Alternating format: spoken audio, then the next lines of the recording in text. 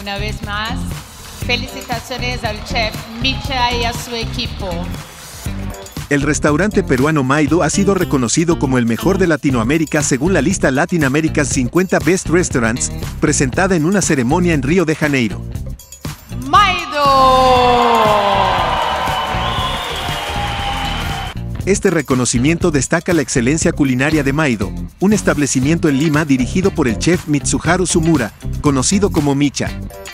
La gala en el Hotel Copacabana Palace fue testigo de la emoción cuando se anunció el galardón, consolidando la posición de la cocina peruana en la región.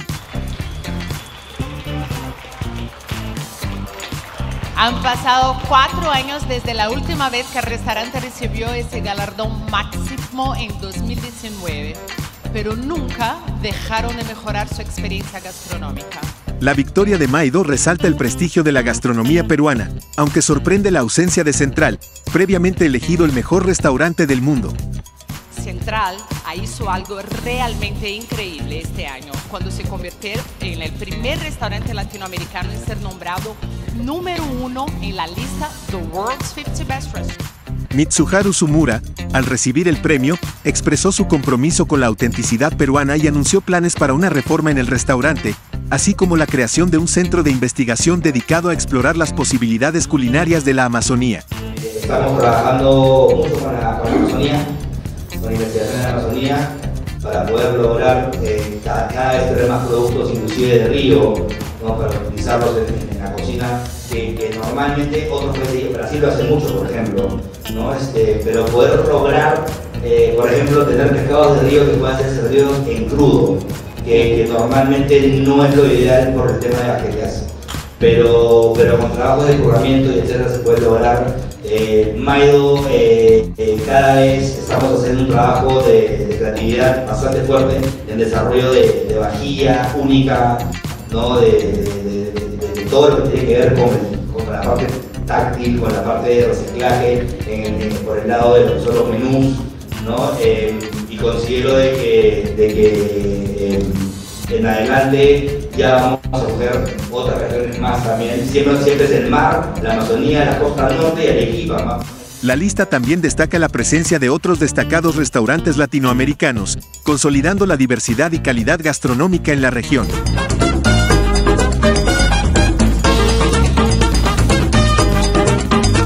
La ceremonia de Latin America 50 Best Restaurants contó con otros reconocimientos notables, como el brasileño Acasa do Porco y el mexicano Fauna.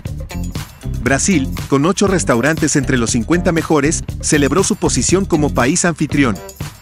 Además, se destacaron individuos como Janaína Torres Rueda, cofundadora de Acasa do Porco, reconocida como la mejor chef de América Latina, y la argentina Dolly Irigoyen, con más de 50 años en la cocina y la comunicación gastronómica.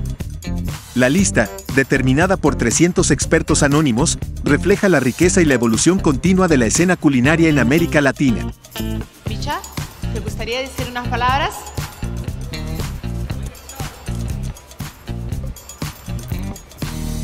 Bueno, eh, primero que nada, muy obrigado, muchas, muchas gracias. Eh, se siente una, he sentido durante toda la noche una, energía muy positiva. Eh, sé que los discursos no deben ser largos, no lo voy a hacer largo, eh, pero sí es cierto que hay un antes y un después de, de, de 50 Best en Latinoamérica. Desde que, que Gastón, Gastón Acurio, en el 2013, eh, organizó para que esta lista en Latinoamérica se diera. Creo que empezó esta unión que tenemos hoy en día y es lo que más celebramos eh, todos los años primeramente. ¿no? Eh, esta, esta maravilla que hemos creado de poder trabajar juntos, de ver cada vez más países eh, en, en la lista del 1 al 100, haciendo cocinas locales, poniendo a Latinoamérica en el mapa mundial. Este claramente ha sido el mejor año de América Latina.